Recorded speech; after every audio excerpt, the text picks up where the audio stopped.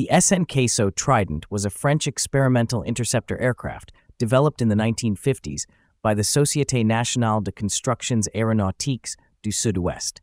Conceived as part of France's effort to re-establish its military aviation industry after World War II, the Trident was a cutting-edge project utilizing both rocket and jet propulsion.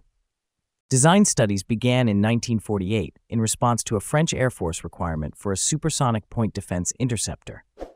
The aircraft was designed by Lucien Serventi as a shoulder-wing monoplane with a sleek, bullet-shaped fuselage, straight, thin wings, and an all-moving tail. It featured two Turbomeca Marboré II turbojets mounted on the wingtips and a central SEPR-481 rocket engine. The Trident used hypergolic propellants, furaline and nitric acid, which ignited on contact, eliminating the need for an ignition system but introducing significant handling risks. The first prototype, SO9001Y, took its maiden flight on March 2, 1953, using only its turbojets. Rocket-powered flight began in November 1954. The second prototype crashed during initial trials.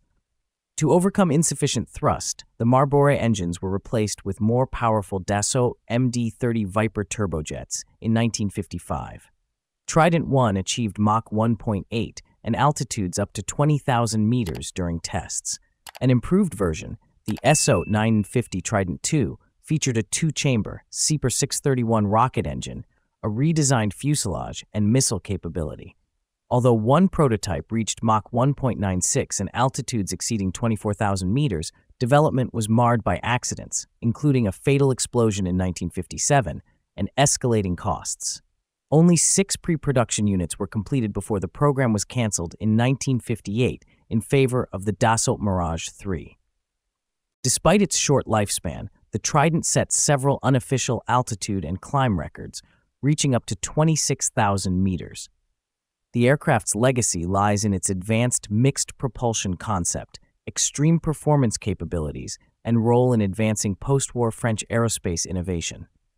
The first Trident prototype remains preserved at the Musée de l'Air et de l'Espace near Paris.